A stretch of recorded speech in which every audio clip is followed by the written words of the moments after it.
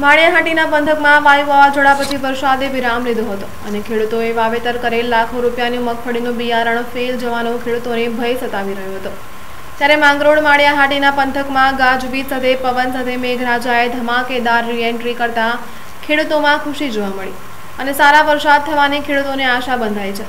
જૂનાગઢ જિલ્લાના માળિયાહાટીના તાલુકાના જૂથળ ગામના દ્રશ્યો, ધોધમાર વરસાદ સાથે શરૂ થયો. વરસાદની ખેડૂતોના ખેતરોમાં પણ પાણી ભરાયા.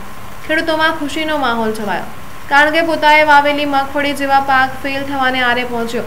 ત્યાં જ વરસાદે વધામણા કરતા મગફળીના પાકને જીવનદાન મળ્યું. વાઢિયા મિતુલ કુમાર સાથે એનએસ ગુજરાત ન્યૂઝ, જૂનાગઢ.